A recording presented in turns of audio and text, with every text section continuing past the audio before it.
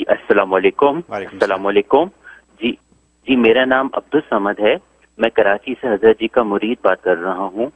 सबसे पहले तो इस जमाने में हज़रत जी मेरे ख्याल में हम सब के लिए स्पेशली मेरी फैमिली के लिए तो एक एनर्जी का एक क्या वो फॉर्म वो है एनर्जी का एक कैनुला है कि माशाल्लाह माशाल्लाह इतनी नॉल इतनी हमें एनर्जी मिलती है हज़रत जी को देख के और इस माहौल में तो अल्लाह हज़रत जी को अपनी हिफाजत में रखें और हज़रत की उम्र में काम में हर चीज़ में बहुत ज़्यादा बरकत नसीब फरमाए। आमीन सुबहामीन अच्छा मेरा सवाल ये था कि जैसे मेरे माइंड में एक अशकाल है छोटा सा वो ये कि जिस तरह किसी को वायरस हो रहा है तो क्या ये हमारे या जैसे फॉर एग्ज़ाम्पल अल्लाह न करे मुझे किसी को होता है तो ये क्या मेरे अपने अमाल की वजह से मुझ पर हो रहा है? क्योंकि जैसे नबी वसल्लम ने से कहा था कि इज्तमाही उम्मत पे तो कोई चीज़ नहीं आएगी लेकिन किसी पर्सन टू पर्सन चीज़ें आ सकती हैं। तो क्या ये मेरे अपना पर्सनल अमाल है या मेरा पर्सनल कोई गुनाह है जिसकी वजह से मुझे ये हुआ है? इस तरह की चीज़ होगी। तो अगर ऐसा है तो फिर इसमें वो फिर हजीर ने बताया था कि वो शहीद होगा। तो क्या वो आया है शहीद भी होगा या वो शहीद नहीं, सिर्फ़ एक नॉर्मल डेथ ही होगी कंसिडर की जाएगी? और दूसरा मेरा सवाल ये था कि नज़र जी, माशाल्लाह वो एक अंगूठी पहनते हैं स्पेशल तो वो किस चीज़ की क्योंकि वो मेरे शेख हैं तो मैं उनको इसमें भी फॉलो अप करना फॉलो करना चाहता हूँ। इसका ठीक बहुत शुक्रिया जी। बकिया वीडियो देखने से पहले वीडियो को लाइक करें, राहम टीवी चैनल को सब्सक्राइब करें और बेल आइकन पर क्लिक करें। शुक्रिया।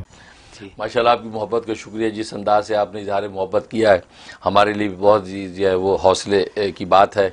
और हम जो अल्लाह तबारक व ताला से अजर के जो है वो उम्मीदवार बनते हैं। हमारे इल्म इरफान से आप हजरात को फ़ायदा पहुँच रहा है।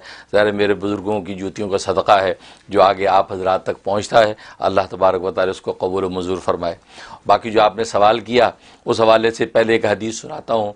हजायशा सिद्दीक़ा रज़ी अल्लाह तआला ने सरकार दो आलम सल्लल्लाहु अलैहि वसल्लम से पूछा कि यार या रसूलुल्लाह सल्लल्लाहु अलैहि जब कौमों पे अजाब आता है और अल्लाह तबारक वताल उन कौमों को मलिया मेट कर देते हैं तो उनके अंदर बाज़ नेक और अच्छे लोग भी तो होते हैं।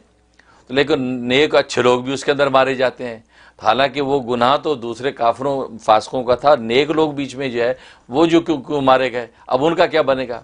उस पर नबी करीम सल्लल्लाहु अलैहि वसल्लम ने फरमाया कि अल्लाह की सुन्नत यह है कि जब किसी कौम पे इज्तिमाही अजाब दिया जाता है, वो सारी की सारी कौम को, मुल्क को हलाक किया जाता है। बाकी जो नेक हैं, वो भी हलाक कर दिए जाते हैं। हाँ अलबत्त आखरत के अंदर वो अपनी नीयत पर उठेंगे। मतलब अहले ईमान हैं, अल्लाह के ताबेदार फर्मा बरदार हैं तो वो फर्मा बरदारी पर उठेंगे और आखरत में अल्लाह तबारक व ताली उनको अपनी नेमतों से नवाजेंगे। तो बिल्कुल इसी तरीके से जब दुनिया के अंदर इस तरह के जब वो आलमगीर अजाब की शक्ल बनती है, जैसे कोरोना वायरस की तो आलमगीर अजाब जब आता है तो उसमें नेक बद सभी पकड़े जाते हैं। अब उसमें अगर कोई नेक पकड़ा गया तो हदीस की रूह से ही पता चला कि वो जो है, वो नेक जो है शहादत के मुकाम पे फायज होगा और वह अल्लाह तबारक व ताली के अपनी नीयत के अतबार से उठेगा, क्योंकि नेकी की नीयत पर कायम है और नेक, नेकी इख्तियार किए हुए है। लिहाजा वो शहीद हो जाएगा।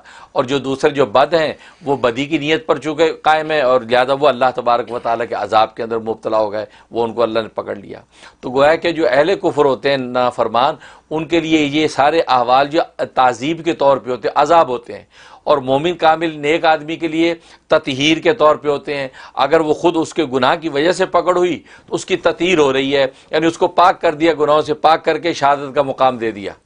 और अगर पहले से नेक है, फिर उसको ये खुदा न खास कोरोना वायरस की बीमारी लग और मारा गया तो फिर यह है कि वो मजीद बुलंदी दर्जात का ज़रिया के ततीर की ज़रूरत ही नहीं है। इसको मजीद मजीद तदरीज दर्जात की ज़रूरत है। तो अल्लाह तबारक व ताली उसके मजीद दर्जात बढ़ा के शहादत का और आला मुकाम उसको अता कर देते हैं।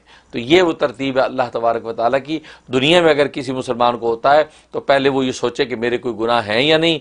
हो सकता गुनाहों की वजह से पकड़ है। तो फिर ततीर का ज़रिया बनेगा। अगर गुना नहीं है तो इन फिर वो बुलंदी दर्जात का ज़रिया होगा और अली दर्जे की शहादत को नसीब होगी। बहुत बहुत शुक्रिया हज़रत।